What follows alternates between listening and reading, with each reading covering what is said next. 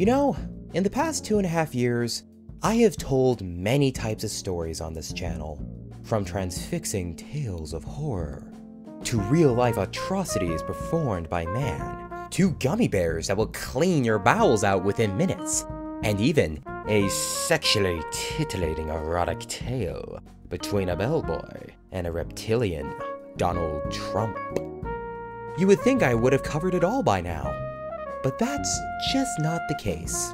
There is one specific genre of stories I have never told before. My stories. And today, I will be changing that, for better or for worse, by giving you three stories about me serving the craziest of people I have ever met while at my job. Now for my own privacy, I will not be telling you the specifics of my position, but there are two important pieces of context that you will need to know.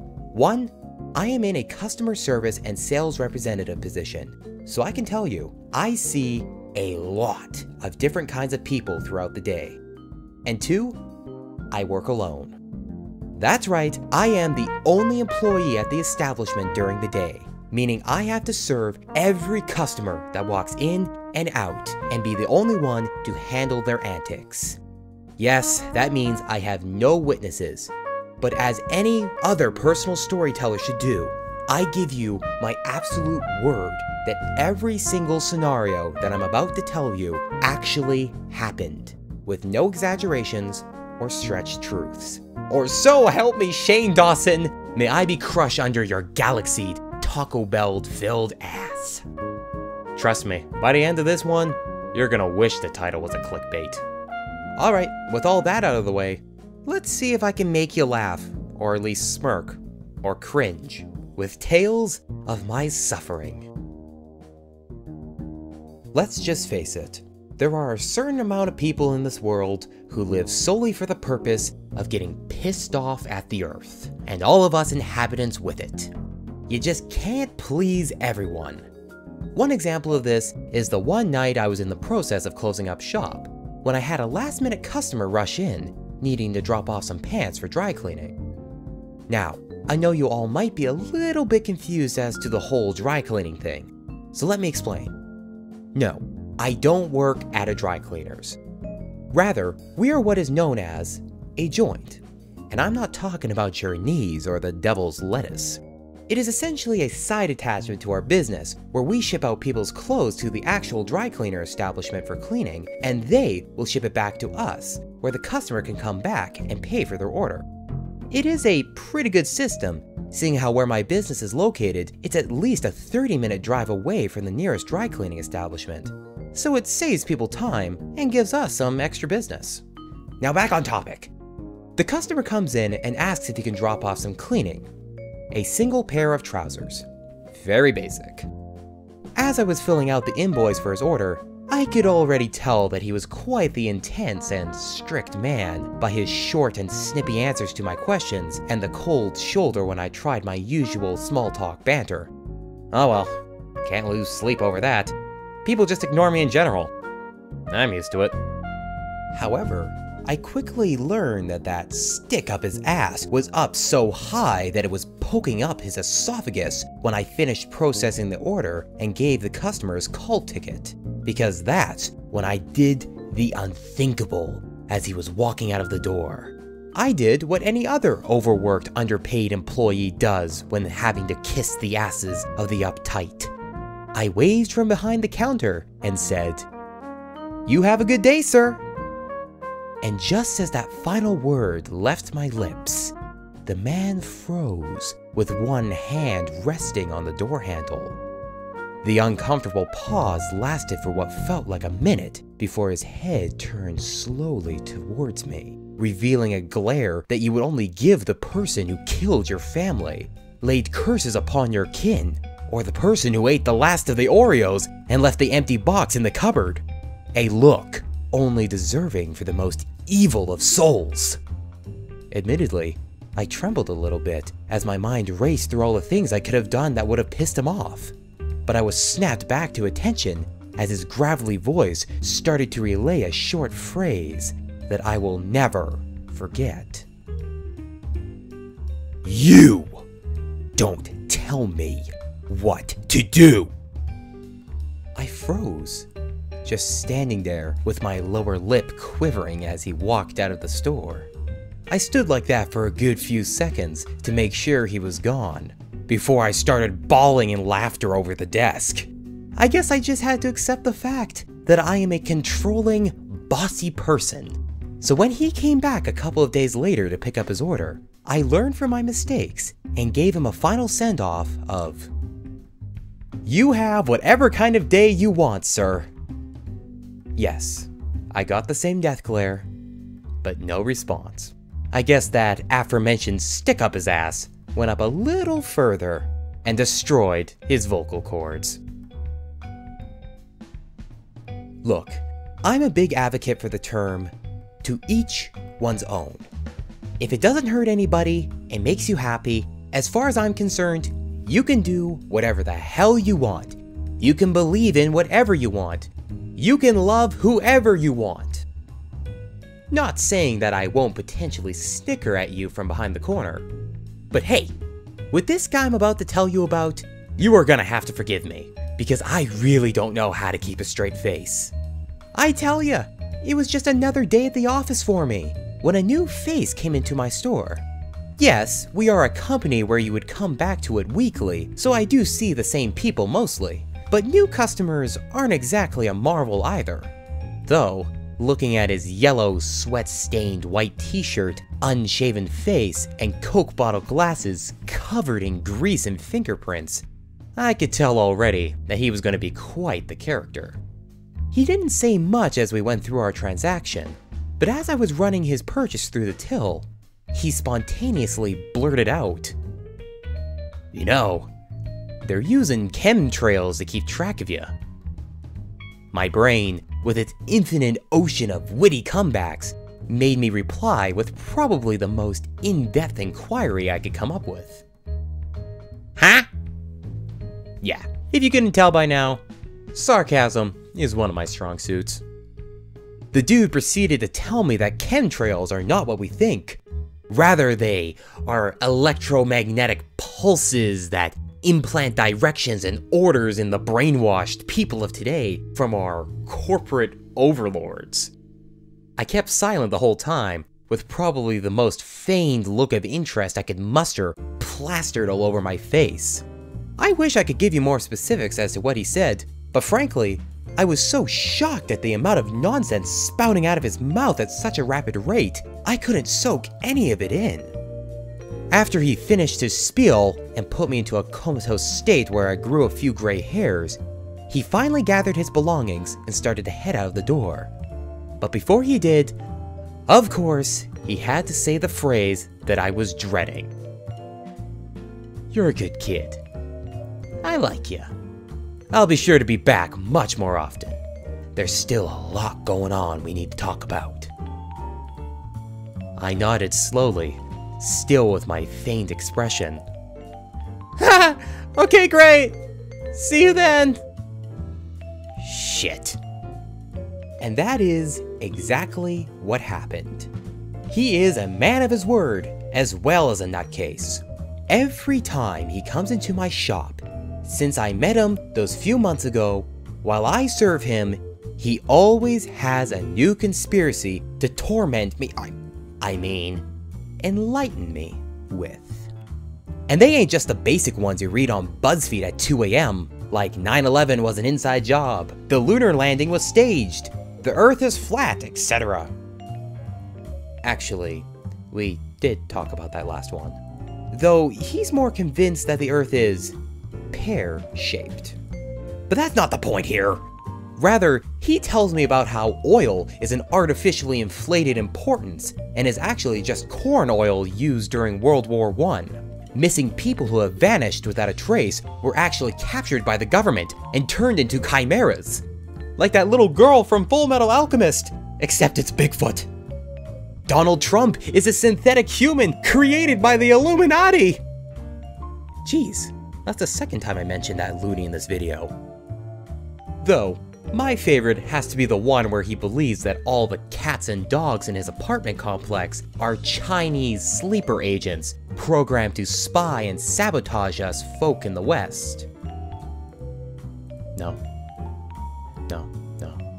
I'm not joking. I wish my brain was that creative to think that up.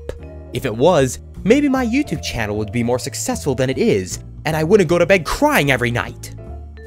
Apparently, he knows this to be true, as the dogs that the other tenants own pee in the outlets of the hallways and on the panels of the elevators, disabling them.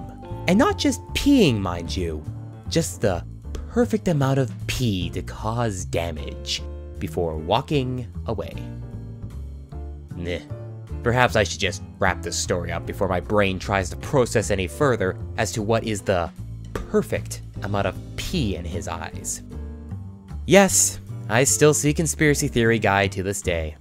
In fact, at the time of this recording, I just saw him two days ago, and he wanted to talk about time travelers. Just the cherry on top of this messed up and convoluted cake.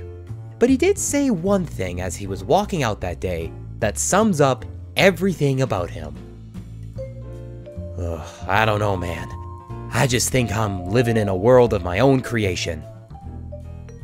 You said it, Queen! Not me. And here we are at the end, folks. The story that this video is titled off of. Hold on to your butts, because I'm gonna tell you about a guy who let his go on my door. And if this isn't your kind of thing, it's best you pack your bags and leave this video. Cause things are gonna get nasty. Well, it was already nasty because I was a part of it, but you know, gross. This was during my first summer of my employment. I was horribly behind in my paperwork, and I had to get it to our bookkeeper at the bank before they closed. Of course, it was a Saturday, meaning that they closed early, and I had to have those sheets on her desk before she left that day, or else I would be sunk faster than an OTP ship on an anime subreddit. With only 15 minutes to spare, I printed out my final page and slipped it behind its many sister sheets in my red binder. Closing it, I smiled at its cover, blazing with an otaku's wet dream, as it was covered in an assortment of stickers and decals I've collected from conventions and indie artist shops. Yes, I'm that guy. Weeb trash and Norian scum till the day I die. Anyway, I walked out of the shop and reached into my back pocket to get my key. Remember, I work alone, so whenever I have to leave the store to do stuff like this, I need to lock the door behind me. And of course, it wasn't there. I had left it on my desk. Just my luck! I looked over my shoulder to make sure that nobody was heading towards my store. There wasn't, just an odd looking man looking up at the sky blankly. Yes, it was strange, but nothing to steal my attention for too long. I placed my binder on the ground beside the door and ran back into the store's back office, grabbing my key. I rushed back to the entrance, but through the glass that the door was made of, I saw a sight that immediately made me halt in my tracks. The aforementioned weird dude from before was now standing closer to my doors, but with one extra feature. His pants were off, and I was staring full on at his bare ass. I don't know what was more amazing. The fact that Donald Trump hasn't been chased out of this country by the populace? Sorry, I know, that will be my last Trump joke. Or that this dude was able to remove his pants in the amount of time I was gone. Look, I know I got a big ass, but I'm not that slow. What were they? Tearaways? No matter, as you could have guessed, I didn't want to get anywhere even close to this guy. But before I could even start to fathom a plan of how to sneak past him, I was starting to consider the Metal Gear Solid style maneuvering with a box. He did the unthinkable. Something that my brain still shudders every time I think about it. This is your cue if you aren't good with the gross stuff. You gotta leave. This is your final warning. There and then, he started to drop a slimy, wet dookie out of his ass. Literally three feet from my door. The type of shit that plagues the poor soul in a gas station bathroom who just wanted to try the nachos at Denny's during a 3am Munchies Fest. And this dude was dropping it without breaking a sweat or needing an overrated iPhone game. My brain acted on its own as I watched the cesspool beginning to grow in size at his feet.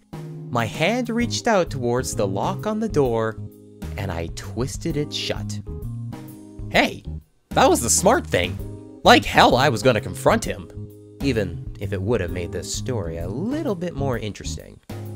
Finally, the ass-splosion ended. But he wasn't done just yet. Rather, he just stepped out of his pants on the ground and started pissing, of course. And not just standing there urinal style.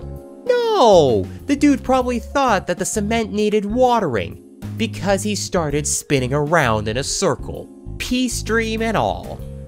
Look, I've heard of the helicopter, but come on! Have you thrown up yet? No? Good! Then I can continue with the rest of my suffering. The guy seemed to acknowledge the mess he made around him, and on himself too, clearly wanting to wipe the sludge off of his ass and legs, and out of everything possible he could have chosen. The leaves on the nearby tree, that newspaper in the gutter, hell, even doing the doggy butt scooch on the pavement. He looked to my binder I left on the ground and started reaching out for it. I was frozen in shock. I didn't know what to do. So I just watched as he picked up my binder and opened its pages. Rip! He pulled a page out from its rings. I felt like a parent watching his child being suffocated in the biceps of Josh Hutcherson in the Hunger Games as he crumpled the page into his hands and wiped it through his ass cheeks. Girl, I'm a creative mind on YouTube. I got enough people wiping their asses with my work all the time. I don't need you doing it literally. Rip. Doesn't matter though. Another page, another wipe. As you can guess, it wasn't one of those shats when you can get away with a single wipe. No, of course it was a Chipotle-styled splurge where you need the entire roll. Or in this case, every damn piece of paper in my binder. Even when there was no pages left, he ripped the plastic in half. Rip! And used it! Spreading poo-poo on my waifu stickers! And to top it all off, because it wasn't gross enough, he puked, and then passed out, collapsing into a pile of his filth. Literally, blood, I think he hit his head when he fell, piss, and vomit. And shit. A lot of shit. Fortunately, one of the employees working in the business beside my own had a more functioning brain than me, probably because she didn't have to witness a slaughter of her hard work in the crevices of a drunk's ass, and flagged a nearby police officer walking out of a Tim Hortons who promptly took care of the slob. Fortunately, I was able to reprint all the pages I needed as I watched the janitors sweep up my soiled wee binder and throw it in the trash where it probably honestly belonged. And I did get to the bank two minutes before it closed. My bookkeeper was standing in front of her office with her arms crossed and just sneered at me. You better have a good story as to why you took so long. Oh girl, trust me, I did. Well that was fucked up. If you enjoyed this video, then why not leave a like and subscribe because I'm posting new videos every day right now and working my ass off. Hey, maybe I'll smile for once. Also, leave a comment and tell me if you want more story times with me. Because trust me, I got a whole lot more up my sleeve, and others than just work stories. But I still have a couple of those. Alright, I'm gonna go cry for a little bit to wipe my mind from trudging up all these bad memories and the PTSD with it, and I hope you enjoy the rest of your evenings and to the mongrel who was in front of my store that day. If you so happen to listen to this video, you owe me a new binder and some waifu stickers. Stay fabulous, everyone. See you tomorrow.